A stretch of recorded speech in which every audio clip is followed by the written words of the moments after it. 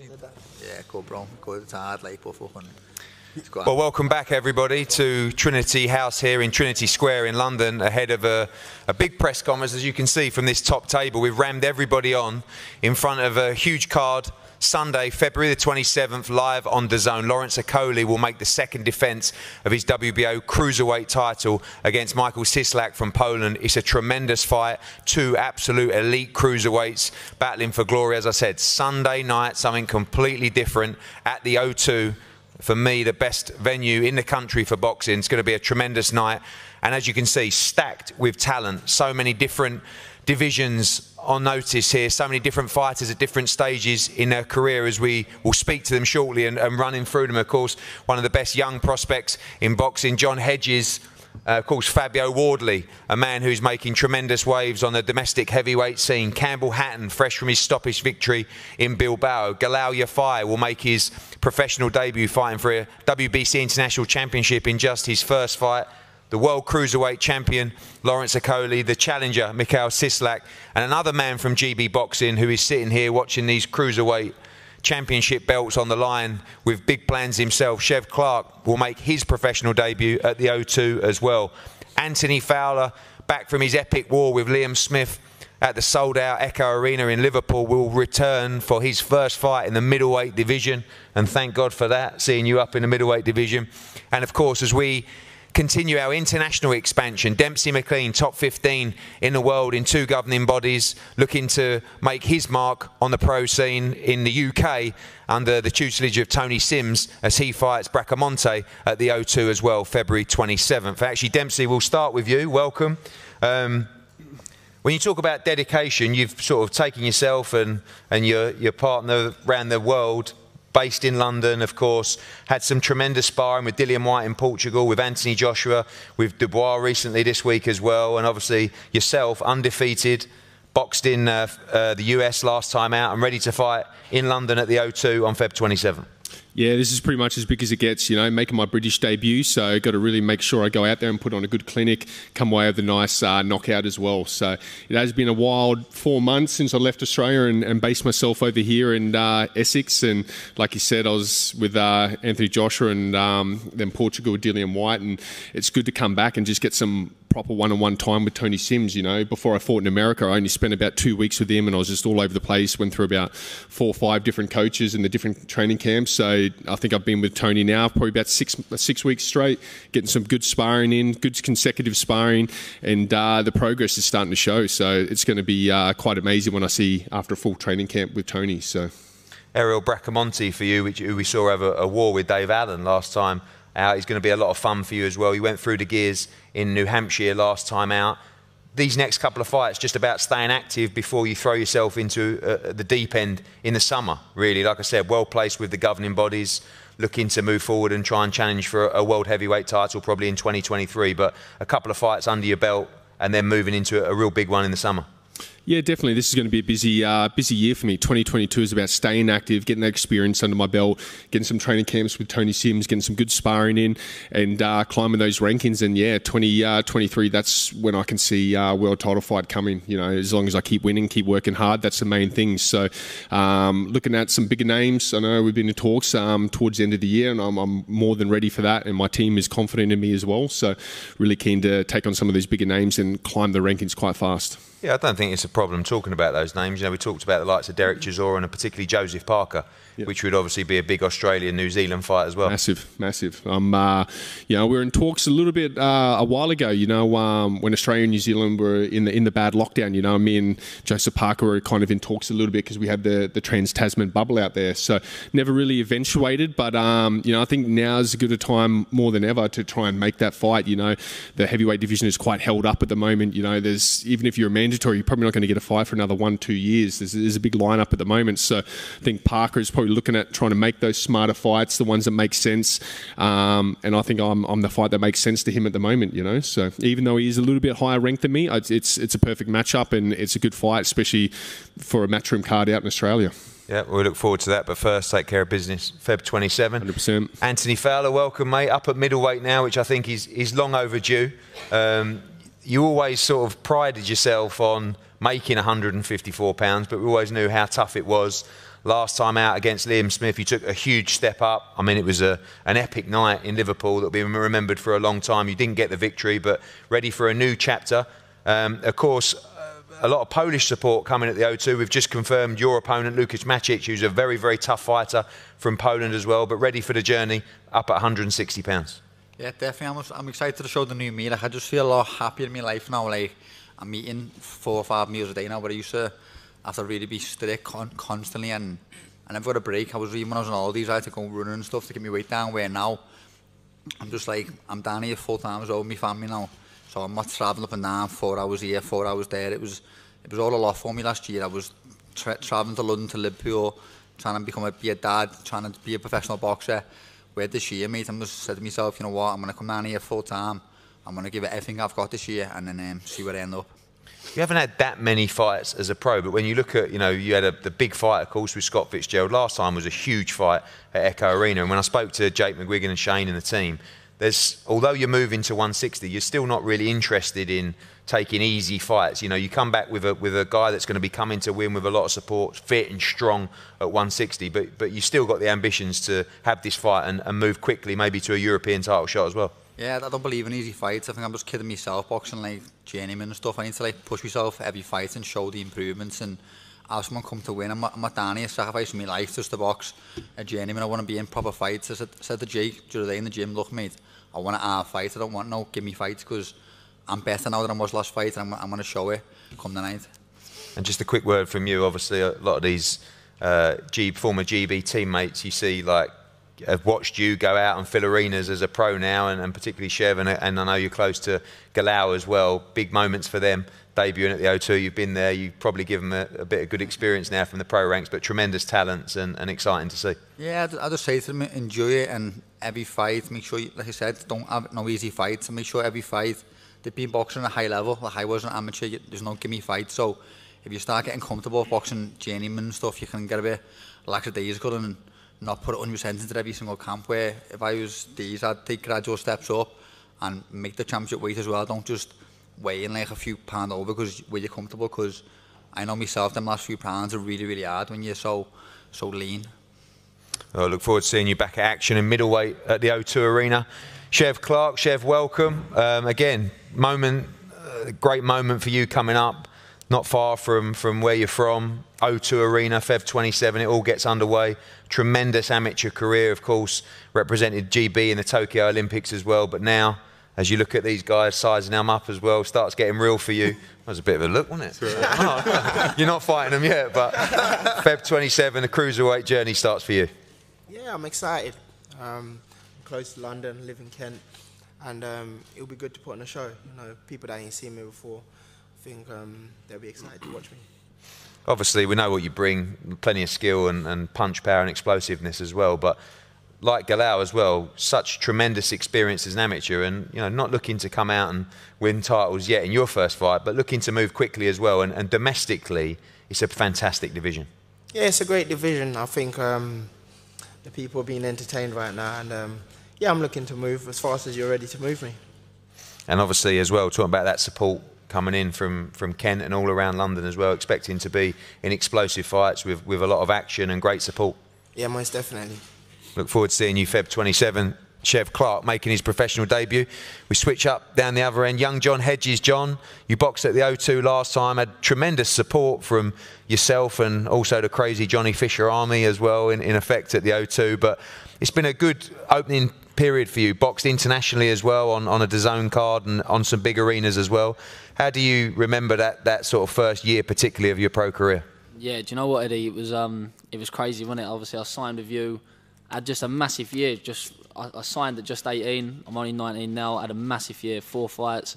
Went to Austria, like you say, last fight O2, and I think the performances have just been getting better. So that's the plan now. Go back out O2 Arena again, massive platform, do the business again in better fashion you already look like you're a lot older than you were when you first started, and it was only a year ago. Yeah, a bit of a beard on the go. But, but you have you have got tremendous experience already. I mean, you, you're still learning, and you were you were super green yeah. when you started out, but already feel like you've matured as a fighter over that short period with Mark Tibbs. Yeah, properly. Like we're in the gym. Obviously, Johnny's with me. We train hard together.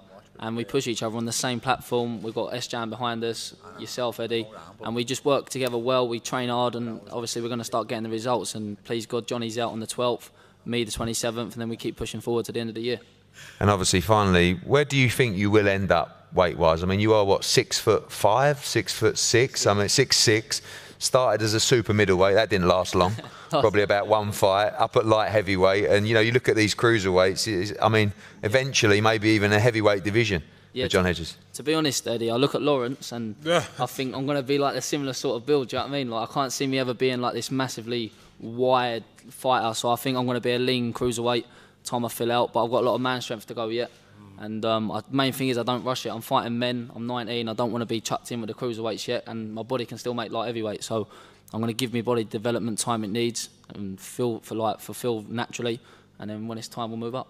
Look forward to seeing the progression continue at the O2. Campbell Hatton, welcome, mate. Thanks for coming down today. I know you cancelled some sparring to come down as well, but last time out, Bilbao, great performance, first stoppage um, on the record as well. Great experience altogether going out there for your first international fight.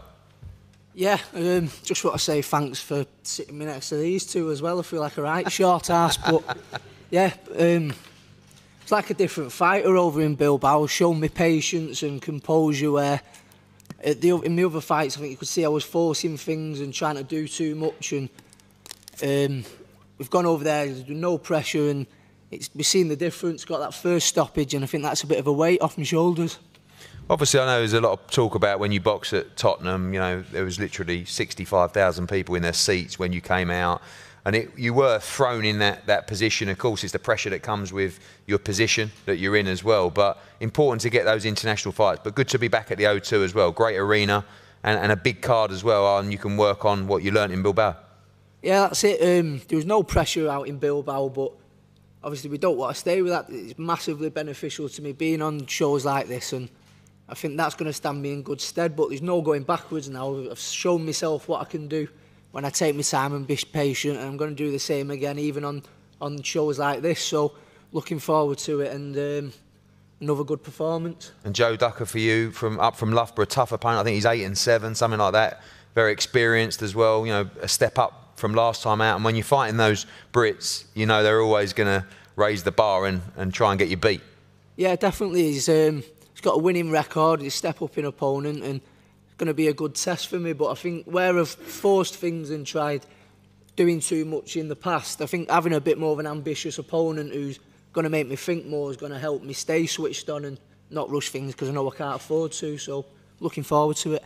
Look forward to seeing you at the O2 Feb 27. Fabio Wardley, who is just chinning everyone really and knocking everybody out every time he steps up. They say it's a step too far. He doesn't have amateur experience. He only had a few white collar fights, whatever you want to call it, but continues to be icing everyone in the heavyweight division. It's been a frustrating period for you, Fabio, out with injury, but looking forward to returning to action at the O2 on Feb 27th.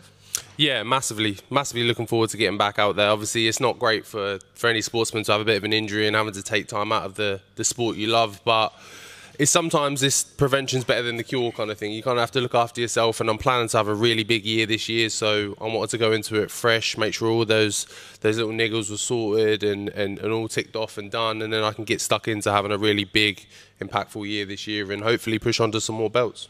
I know that Dillian, you know, your management and, and yourself have always been willing to take those steps up, looking to come back and, and ease yourself back in from injury on Feb 27. But some of the names that are mentioned for the summer, you know, I love the fight with Gorman for the British title, but even Mariusz Wach and De Halpus and, you know, Hammer and bigger names than that, you, you feel like you're ready for those guys now. You've been cruising past that level so far.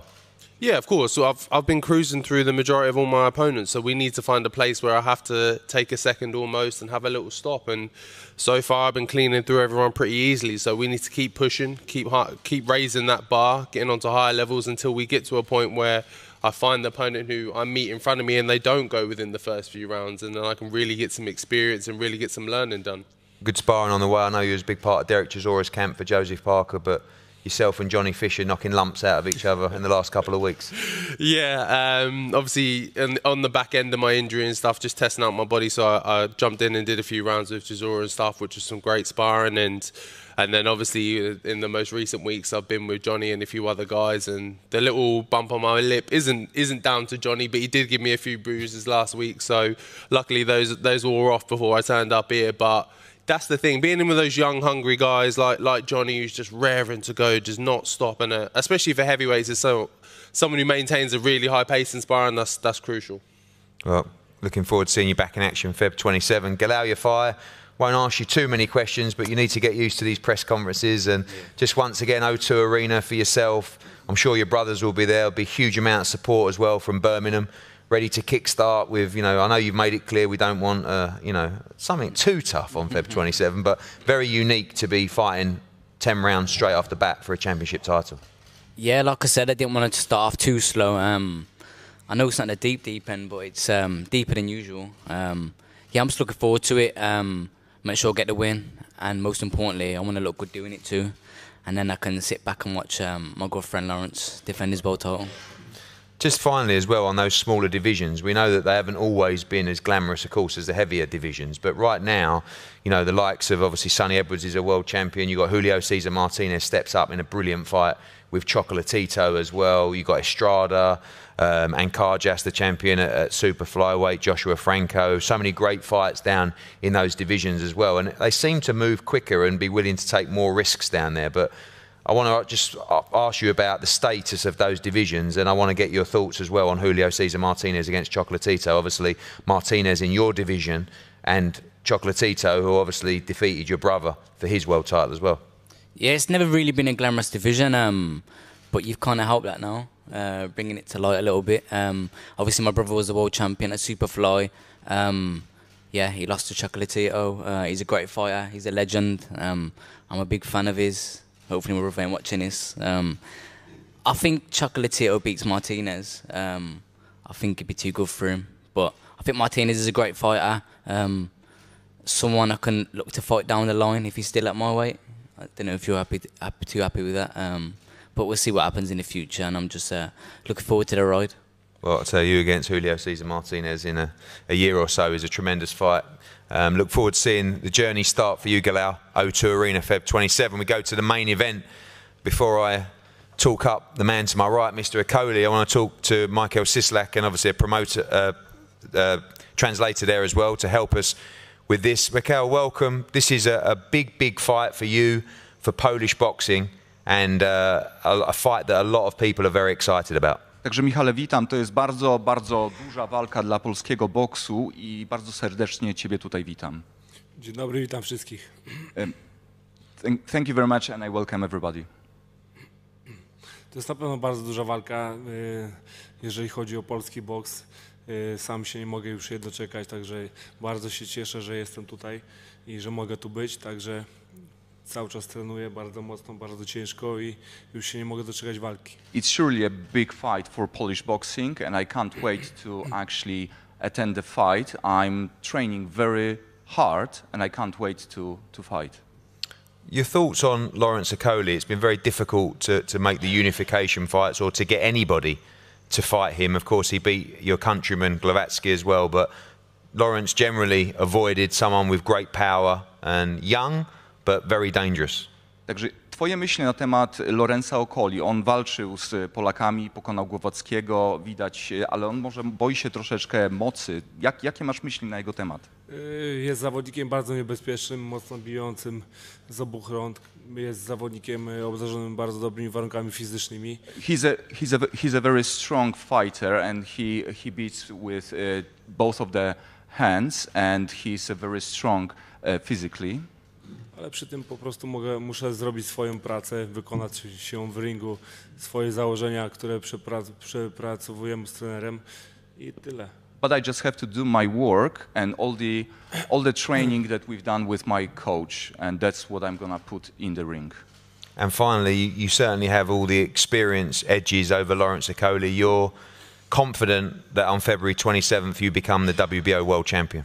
I teraz e, widziałeś doświadczenia, e, jakie mieli e, ludzie z Lorencem Okoli. Czy jesteś pewny, że 27 lutego możesz zdobyć ten tytuł Mistrza Świata?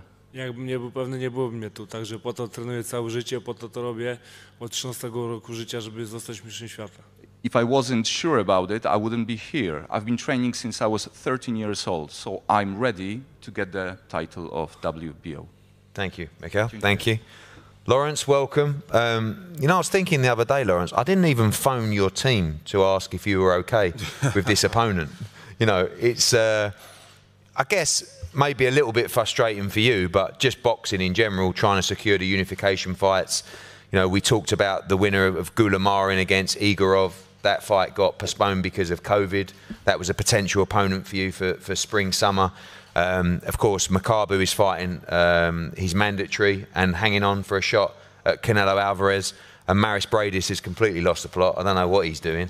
But for you, you step up in a fight. This is a fight a lot of people in boxing are talking about. This is an elite cruiserweight. By far, I believe, the toughest fight of your career so far. Yeah, well, thanks for everyone being here. It's good to be on the table with such amazing people. Um, yeah, I believe on paper this could be one of the hardest fights. It's until you actually get into the ring, you you'll never know what someone's got. But watching Cieslak's fights, he's very um, he's a very good technical boxer, good punching power, good speed. So all in all, it's, it's, it's, it poses to be a very challenging fight. But if I believe I'm gonna go on and unify the division, I have to be able to beat people like Cieslak and beat them in good fashion. How important is it to get an elite opponent when you're in your head thinking about those big unification fights?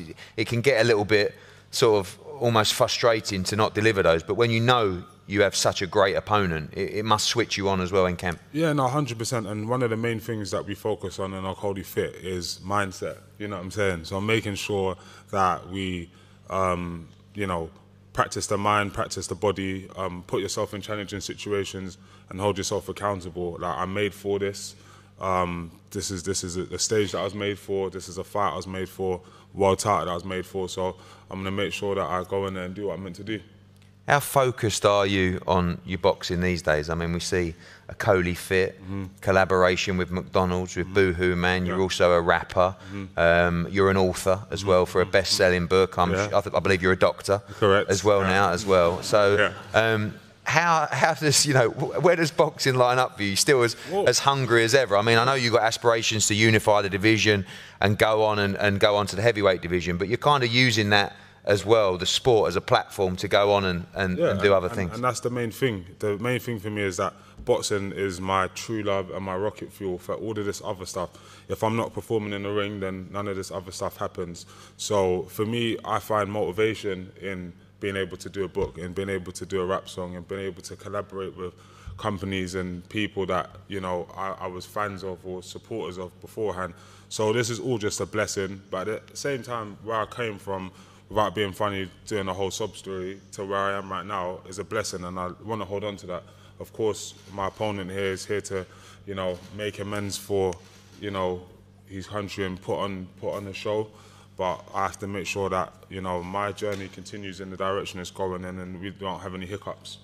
I know you're, you're focused on February 27th, but you do want those unifications as well. It must be frustrating sometimes to see, you know, fights get delayed that might delay your own unification as well, and see Mairis Briedis and the, the Jake Paul stuff, and some of it doesn't really make sense. But you you frustrated, or you you're you're No. focused with No. what you have to do. I, I think nothing of it ever, ever. Like as soon as a fight's made, Michael Cieslak is the only person I think of. You know, I've got his picture in my room. Um, I watch all of his interviews. I don't understand any of them, but I just like to watch his mannerisms. I've watched all of his fights. I know him, and that's all that I focus on is Michael Cieslak. After that, then we can talk about everyone else. Well, I know you want those unification fights, but this is a really, really good cruiserweight fight between two elite cruiserweights. The WBO world title on the line. Tremendous card, February 27th at the O2. As we said, the professional debut of Galal Yafai and Chev Clarke as well. Anthony Fowler returns in a championship fight at middleweight. World ranked Demsey McKean cruising through the heavyweight division. Fabio Wardley returns to action. The young charges of John Hedges and Campbell Hatton and much more. We'll see you Sunday night, February 27th at the O2, live on DAZN. Sick, man. Sick.